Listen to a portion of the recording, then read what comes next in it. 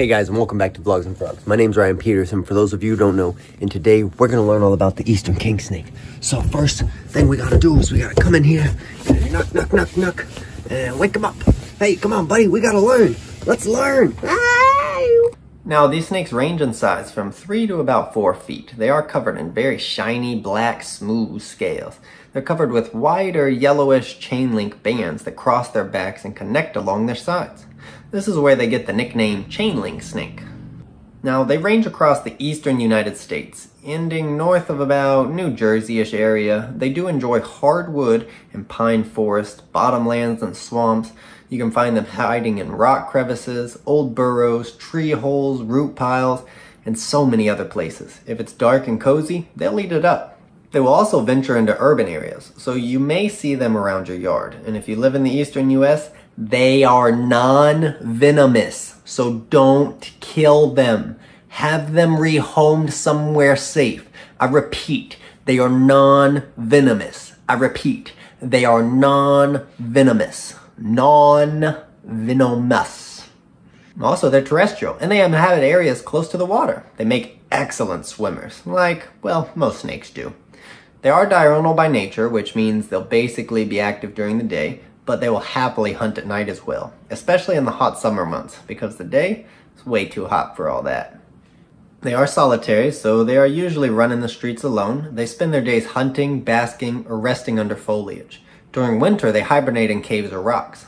They defend against their predators with musk and rattling their tail to imitate a rattlesnake and scare you off. But again, non-venomous. It makes a rattle noise when rattling in the leaves. Cool fact is that they can eat venomous snakes. I said that right. A non-venomous snake eats venomous snakes. They are not immune to the rattlesnake's venom, but they have a certain level of tolerance against their venom. They are non-venomous and they'll take down venomous snakes for a snack. And that's why they're my favorite snake species. King snakes rock. Ha! The underdog all day long. Don't even lie.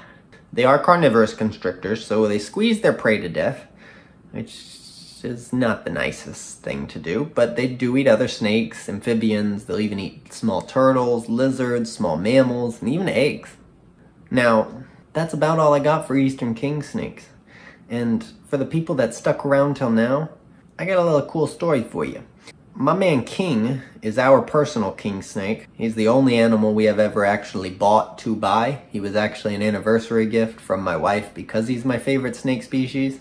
And my guy King is an ambassador for our Vlogz and Frogz business. So when we interact with people and animals, he is one that we let kids hold, we'd let babies touch, like anybody can play with him. He does great. He's done great many times. And he actually has another job with our business and that's testing new enclosures. And that's because he stays a week in a new enclosure and he spends his entire time trying to escape. He is a professional escape artist and has even unscrewed the clasp that lock on an aquarium glass lid.